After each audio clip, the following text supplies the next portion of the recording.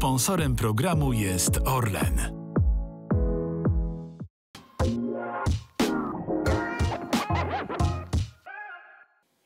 Mówiłeś o tych ciężkich treningach, między innymi e, na Kubie, jak byłeś w tym jeszcze nastoletnim wieku. A później był przez e, kilka lat Zenit Kazań, e, był SR Safety Perugia. Wiesz, jak się trenuje w reprezentacji Polski.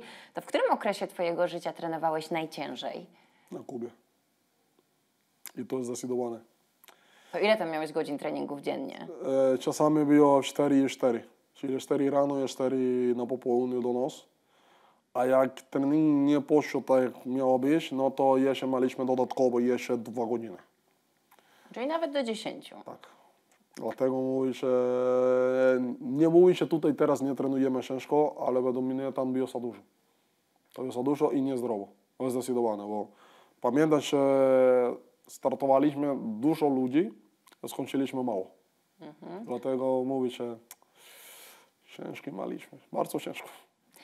To teraz porównując te treningi, które masz albo w klubie w Perugii, albo w reprezentacji Polski i ten okres, jak przyjeżdżasz y, do domu, jesteś dwa tygodnie w domu i masz cały czas dzieci na plecach, to kiedy jest ciężej? Myślę, że ciężej, ale mi smakuje dwa razy więcej, to jest e, czas e, z rodziną. Jest ciężej, bo czasami trochę się więcej spać, a dzieci nie pozwalają. Ale no to ubieraj się, stoisz, zrobisz śniadanie, no to pobawisz trochę z nimi i, i to od razu już e, nie myślisz więcej o, o ale jestem. I jak, Teraz pojedziesz na kadrę i odpoczniesz. Powiedzmy tam na kadrę, o, nie do końca, bo też tam są swoje części, trzeba być skoncentrowany, ale tak jak mówię, no to, to jest bardzo miło, jak e, czas e, z rodziną. E, z drugiej strony, no wiadomo, że każdy myśli, no, no dobra, teraz wracają do domu, no odpoczywają, no to nie jest tak.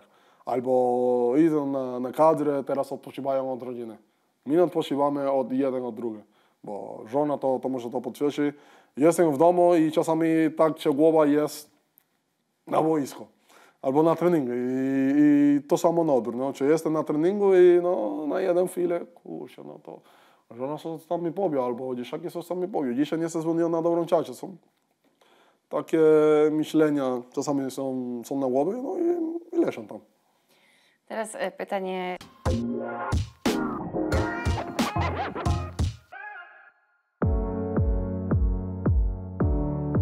Sponsorem programu był Orlen.